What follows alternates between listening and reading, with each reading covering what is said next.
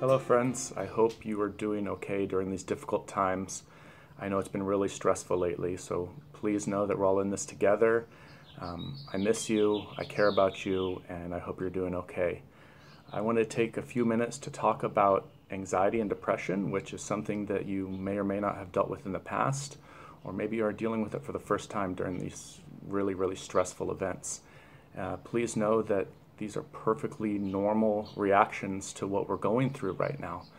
Um, so you may wonder what, what might anxiety or depression feel like. Um, typical symptoms could be you know, sadness, loneliness, uh, feelings of hopelessness, um, lack of energy, loss of appetite, or maybe eating too much, sleeping too much, not sleeping enough, um, excessive worry, um, maybe even irritability or being grumpy or just feeling like you're not present, feeling like you're not connected, um, getting caught daydreaming and um, maybe even just zoning out in front of the TV or in front of video games for hours and hours and hours.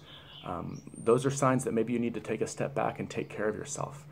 And the most important way to take care of ourselves during this difficult time is to connect with each other. And I know we're not able to physically connect with each other outside of our families, uh, but that's really what we need to do. That is first and foremost. So make sure that you're connecting with your families in your home and, and talking and sharing about your feelings and spending quality time together, playing games, doing art, um, maybe even doing uh, yoga or meditation. Those are really beneficial. Um, some other things that's really, really helpful for anxiety or depression uh, could be journaling. Make sure you're uh, writing down your feelings or even sharing with them. If you already have a therapist, make sure you're staying in contact with your therapist. Uh, the Guidance Center is still up and running. If you have a therapist at the Guidance Center, uh, reach out to them and make sure that you're following through with your appointments with them. Uh, they care about you and they're doing everything they can to help.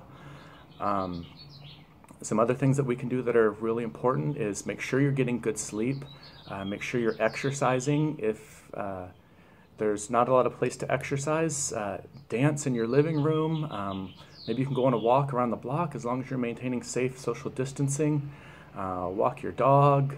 Um, you know, do some jumping jacks, uh, run in place. Exercise is really, really healthy. Eating healthy is really important too. So make sure you're connected. Make sure you're having fun. Uh, make sure you're reaching out um, and be aware of, uh, of your body and listen to your body.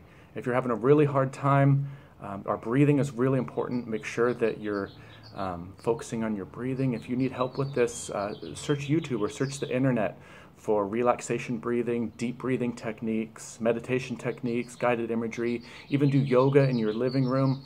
Even if you've never done it before, it, just do what you're comfortable with these all kind of seem like silly things, but they're so, so healthy for our mental health and our physical health. So um, please uh, try these type of activities, but most importantly, stay connected. Uh, we hope to stay connected with you, um, at least in our hearts and our minds. We're thinking about you, we care about you, and we're going to get through this together, and we'll see you soon. Take care.